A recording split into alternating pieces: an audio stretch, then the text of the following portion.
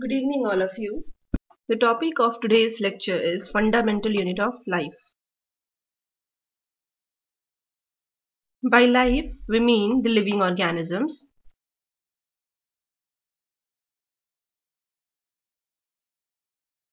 Now question arises what are the living organisms composed of composed of or what is the fundamental unit of a living organism and the answer is the cell. So first of all, we'll be talking about the cell. So how can we define a cell? The cell can be defined as a functional and structural unit of life, which means all the living organisms are composed of the cells.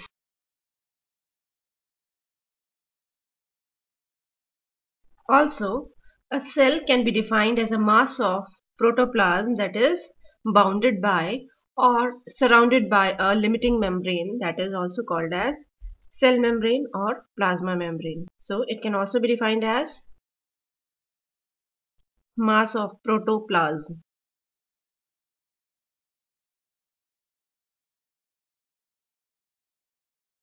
that is surrounded by a limiting membrane or we can just say membrane.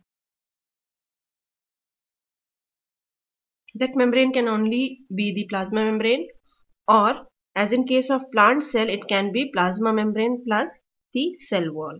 It is important to note that all the living organisms are composed of the cells and cells are microscopic units. Generally they are very small in size. Microscopic means the cells are so small in size that they can only be observed with the help of microscope but they cannot be observed with the naked eye. So, all the living forms or living organisms, be it animal or plant, are composed of the cells, which are generally microscopic.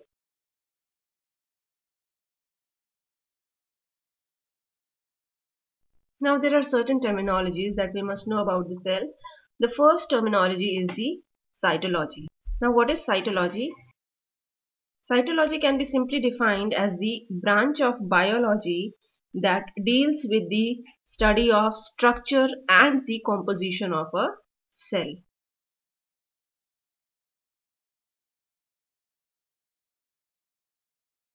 So, what is the basic structure of a cell? What is it consist of? And what is its composition, chemical composition? It all is dealt with in the cytology.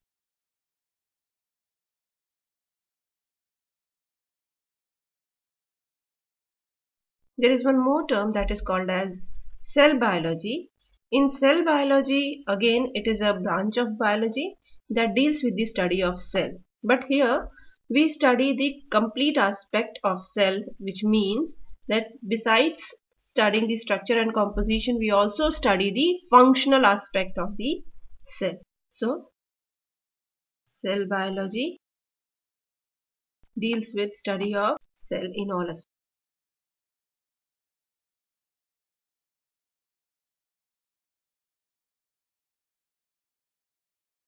So we can say in short that cell biology is the complete study of the cell.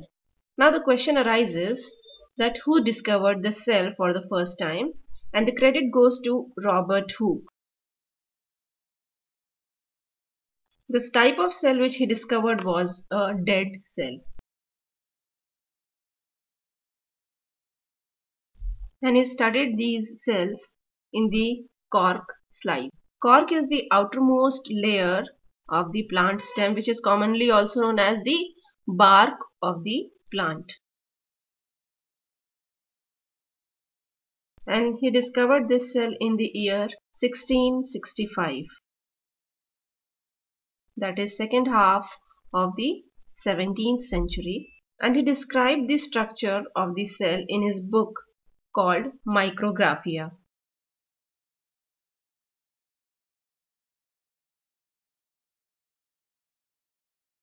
When Robert Hooke observed the cell, the first dead cell in the slice of cork under the microscopic invented by himself, these cells appeared like the uh, compartments, small box-like compartments or the beehives or honeycomb and he also termed the coin cellulae which means small compartment. So the credit of uh, giving the term cell also goes to Robert Hooke. The appearance of cell is like as follows. Under microscope he could observe structures or small compartments, hexagonal compartments like this arranged packed together and this is similar to the beehive or honeycomb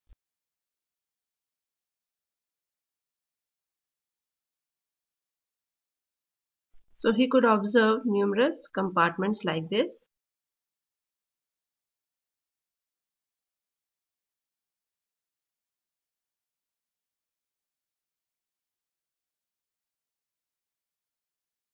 The credit of discovering the first living cell goes to Anton von Leeuwenhoek. In short, he is also known as A.V. Leeuwenhoek. Before that, it is also important uh, to know that uh, the cell is derived from Greek word cellulae, uh, which means a small compartment, and this term was coined by Robert Hooke himself.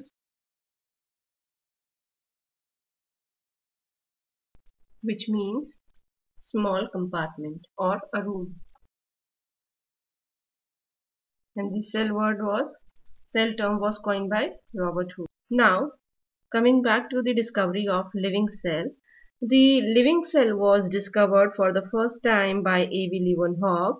So remember a clear difference that the first dead cell was discovered by Robert Hooke, but the first living cell was discovered by Anton von Leeuwenhoek.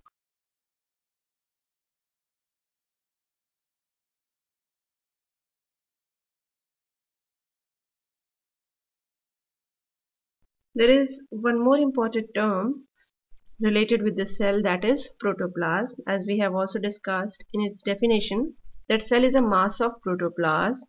So basically protoplasm is also known as the physical basis of life and it is the living component of a cell.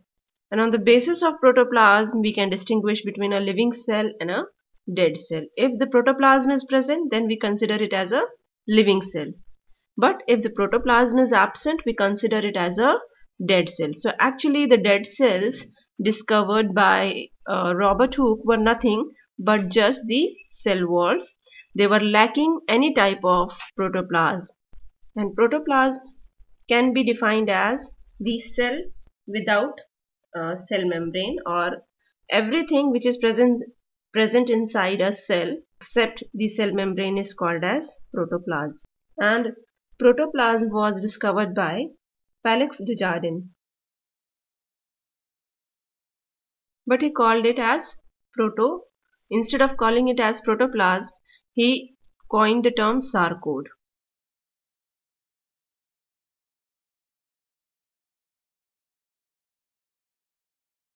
The actual term protoplasm was coined by Purkinje. in 1839.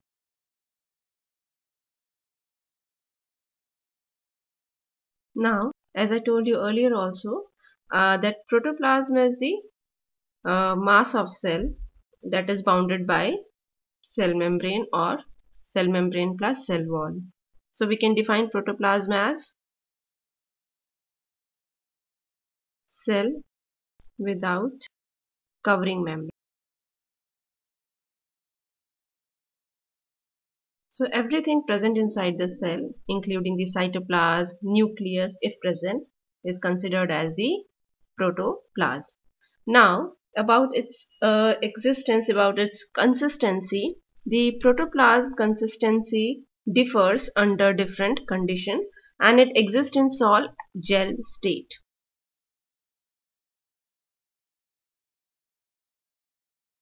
Which means that it can occur in solution state as well as in gel-like state. Solution state means fluid state and gel means semi-solid, jelly-like.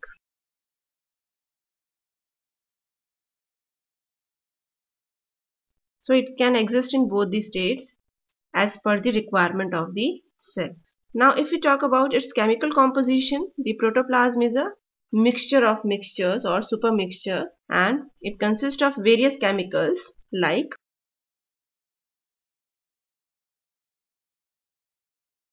water which is present in the maximum amount, ions, salts, minerals and other organic compounds like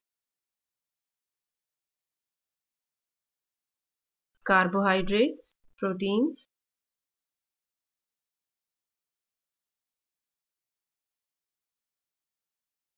vitamins, lipids or fats, nucleic acid.